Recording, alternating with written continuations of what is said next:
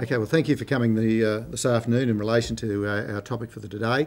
I'd like to talk to you about the uh, decision of the Queensland Police Service in relation to the lowering of speed tolerance levels. Commissioner Stewart uh, spoke of this some months ago in June, and uh, we've implemented that strategy since then. So we've continued with that strategy, and as part of Commissioner Stewart's initial outline, we've always intended that there would be a, a series of adjustments of the speed tolerance and commencing on the 20th of September, we will move to the second uh, adjustment in relation to speed tolerance levels.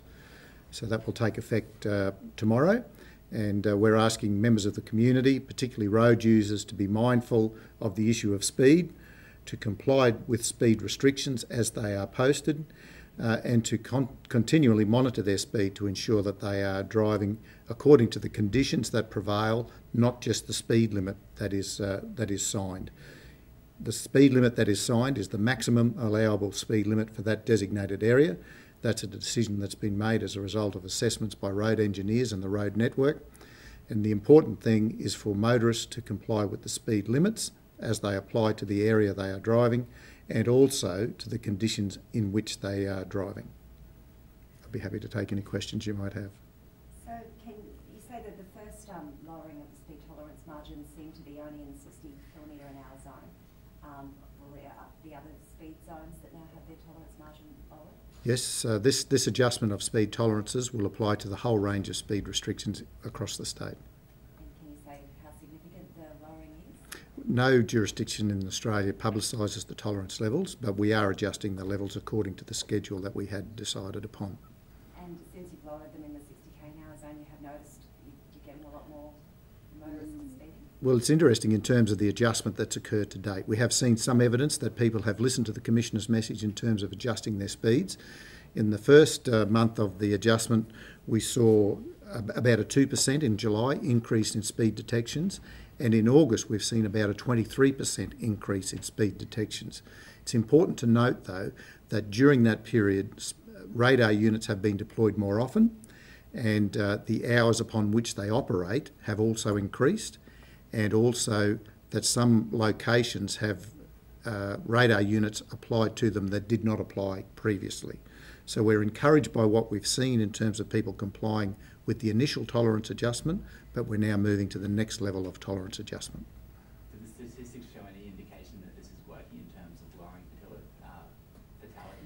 Well, the fatality rate today is 201. 201 people on Queensland roads have lost their lives. That's a tragic situation and one which we ask people to take notice of. To date, we have six more fatalities than we had to the same stage last year, but interestingly, we're 20 or so more than we had in 2010, which was our best year for many years. One loss of life is a, loss, a life lost too many. One traffic crash where someone is seriously injured is a traffic crash too many. We know from the evidence available from academic institutions like CARRS-Q that traffic crash data indicates that people who speed increase their risk of serious traffic crash and serious injury or death exponentially according to the increase in speed over the limit. So we're asking people to monitor their speed, to stick to the signed speed limits and to drive according to the conditions which are prevalent at the time. This could be seen as um, getting uh, Queensland speed camera operations ready for outsourcing, making it more attractive to a private operator to come in? This has got nothing to do with uh, outsourcing of speed cameras. This has got to do with saving lives of Queenslanders and visitors to this state as they use our road network. What we're trying to do is to encourage people to drive to the speed limits and, and apply their own safety every day. Statistics do show that there has been a significant drop in the number of speed-related fatalities, things like 25% in the last five years. Well, speed uh, speed is an important factor in all uh, situations where where we monitor speed. It's also very important in a vast majority of traffic crashes. We know it's a contributing factor of one of the fatal five in many many crashes that occur. So the quickest way to avoid that, the easiest way to avoid the complication of speed, is to drive to the speed limit. Why shouldn't people see this as revenue raising? Well, it's not revenue raising. It's about saving lives. It's about encouraging people to contribute to road safety. We're not interested in the revenue that's raised by this. What we're interested in is, is protecting people, road users, pedestrians, individuals who are innocent parties to traffic crashes. We're about protecting them and saving lives and reducing road trauma. So prior to the lowering of tolerance margins, were you getting um, more detections or fewer detections? What we're seeing is that as a result of the, the change in tolerances, we've seen about a 2% increase in the month of July compared to July 2012. We've seen about a 23% increase in August compared to August 2012. But what we're also seeing is that for the number of cars that are going through speed detection locations, we're actually seeing an increase in the number of vehicles that go through compared to the number of detections that are occurring. So the increase is attributable to the amount of deployment of radar units and the hours upon which they're operating. When we compare it to the amount of vehicles that are travelling through speed camera locations, more vehicles are travelling through the locations for every detection. It's fair to say, isn't it, though, if you're, um, if you're getting a lot more people speeding on the roads, it will be easier to find a private operator willing to take over them? Well, this has nothing to do with the the uh, program, which is reviewing the camera detected offences program. This is about saving people's lives and protecting people from injury through traffic crash. And how, is that an indefinite change, lowering the tolerance? It's it's th- this is the second stage of the process that we embarked on in June through the commissioner's announcement and his engagement with the community, asking people to to manage their speed. There will be additional adjustments over time to this tolerance level. So we're at a second stage. We expect there will be more tolerance adjustments into the future. But you would never go backwards.